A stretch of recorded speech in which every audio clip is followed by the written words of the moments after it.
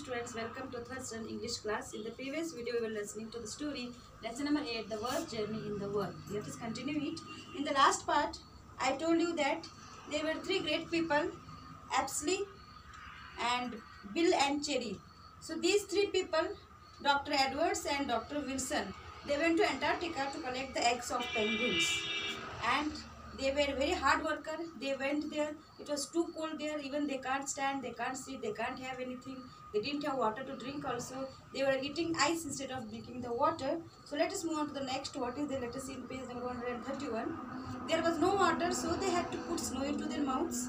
Many times they had felt that they were going to die, but we are so thankful for being alive. So these three great people, ornithologists they were, and one of them was uh, zoologist, and one was the Navy police officer. Apsley Cherry Garrard, Dr. Willard Wilson, and Dr. Wilson.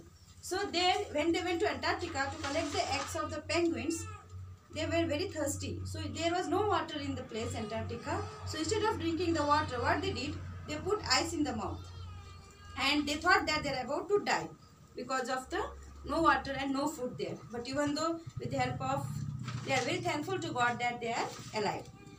It took them 19 days to travel from Cape Evans to Cape Crozier, a distance of about 72 kilometers. So where the penguins lived, there was a place called Cape Evans and Cape Crozier. So to uh, move from one place to another place, it take it took around 72 kilometers. They walked there in the uh, mountains with full of ices and snow. Fortunately, then they saw hundred of emperor huddled together to keep warm. So in the Antarctica, as it was too cold, their penguins survived there. And because of too cold, the penguins, around 100 penguins, walked together in a line there with the emperor penguin.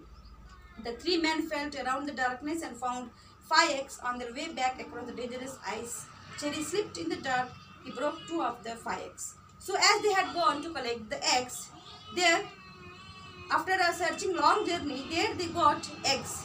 They got five eggs there. So they took their five eggs and they were coming back to our place. When they were coming back, Cherry, the Apsley Jerry Cher Garrard, the great uh, zoologist, what he did, when he was coming back from the uh, carrying the eggs, he fell down. Because of the too much ice there, it was too slippery there. He fell down and out of five eggs, so the two eggs were broken, only three eggs were remaining now. It was 1st August 1911 when the three men reached the little igloo. This was midway up a mountain side. Here, their other companions were waiting for them.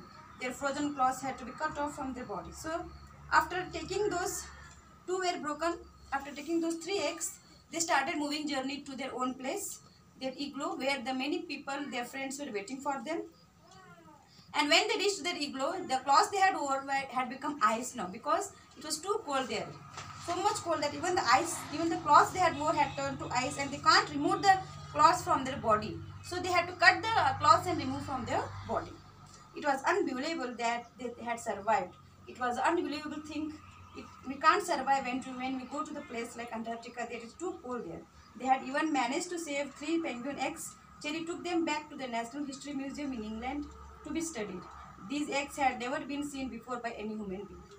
So it was a, such a uh, very hard working journey. Such a great people went there to collect the eggs and at last they, they were able to bring three eggs from the that place. And taking that three eggs, they kept that three eggs in the National Museum in England. Where museum we go and watch the uh, many beautiful things there which we, ca- we can't see it in the daily our daily life and they studied about their eggs and the, those three eggs were kept in the National History Museum in England. And these eggs of penguins, we had never seen them. Even our, we normal people, we won't see that type of eggs. It was unseen by us. So these three, they, these three people were called explorers, great scientists like they were. They were very explorers, very great people.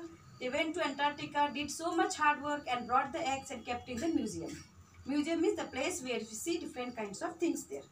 And they, in last sentence, these explorers took such risks for the sake of knowledge. So to get the knowledge, to get the benefit, to see what is there in that egg, they were very good explorer and they, they risked their life and they were about to die also. They risked their life. They went to the place called Antarctica and came back with the eggs.